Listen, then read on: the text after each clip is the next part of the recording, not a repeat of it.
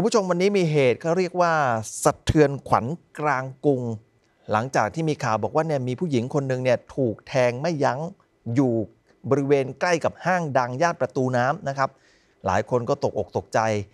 คือเรื่องนี้มันเป็นเรื่องของความแค้นส่วนตัวระหว่างสองคนครับคุณผู้ชมครับ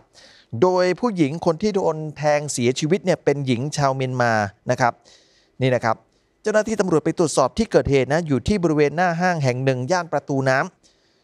ถนน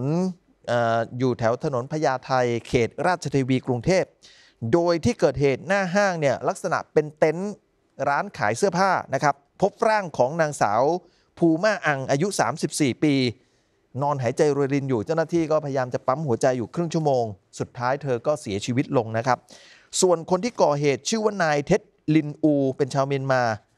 ถูกรปภของทางห้างเนี่ยจับไว้ได้นะครับ ต่อมาตำรวจนำตัวไปสอบสวนที่สอนอพญาไทจากการสืบสวนเนี่ยทราบว่าทั้งสองเนี่ยเป็นเพื่อนร่วมงานกันทำงานอยู่ร้านขายผลไม้ อยู่แถวบริเวณหน้าห้าง แต่ว่าทะเลาะกันเกี่ยวกับเรื่องงานนี่แหละ โดยคนที่ก่อเหตุเนี่ยไม่พอใจหาว่าหาว่าผู้ตายเนี่ยชอบฟ้องเจ้านายในหลายเรื่อง ก็เลยโมโหครับเอามีดเนี่ยจ้วงแทง 3 แผล ที่บริเวณใต้เรานมขวา ที่หน้าท้องแล้วก็แขนขวาเสียชีวิตนะครับ เบื้องต้นตำรวจได้สอบปากคำผู้ก่อเหตุ บอกว่าเนี่ยผู้ตายชอบฟ้องนายจ้างนะทีนี้เนี่ยบอกว่าฟ้องว่าไงบอกฟ้องว่าผมเนี่ยไม่ขยันทำงาน ชอบเล่นแต่มือถือ ผมก็เลยโมโหครับ บันดาลโทสะก่อเหตุเสร็จ แล้วก็วิ่งหนีแต่ว่าถูกรปภห้างตามจับไว้ได้นี่นะครับ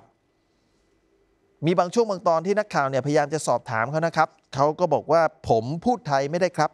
แล้วก็ยกมือไหว้ขอโทษ เดี๋ยวดูช่วงนี้หน่อย ได้ครับพูดได้ได้เดินเดินเดินได้อะอย่าพูดอย่าขอโทษรสชาติเดียวกันไม่ได้ทำอะพูดได้ไม่ได้ครับพูดได้ได้นิดเดียวอะอย่าพูดอะไรถ้าพูดได้ยขอโทษไหม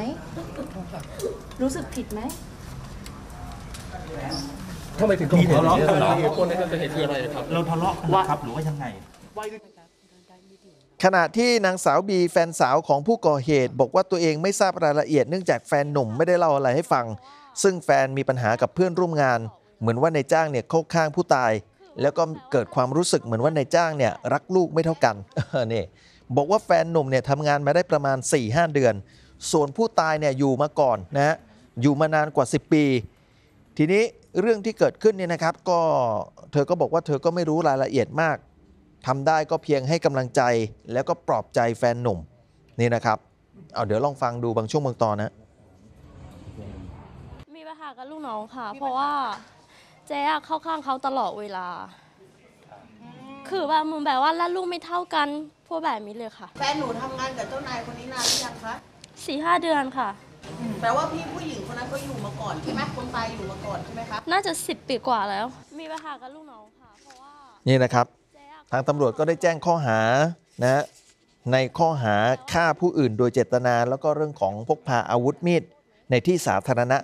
ตัวผู้ต้องหาก็ให้การรับสารภาพนะครับ เดี๋ยวก็จะดำเนินการตามขั้นตอนของกฎหมายกันต่อไปนะครับ คือต้องรับโทษตามกฎหมายไทยก่อน หลังจากรับโทษเสร็จสิ้นแล้วค่อยส่งตัวกลับนะฮะ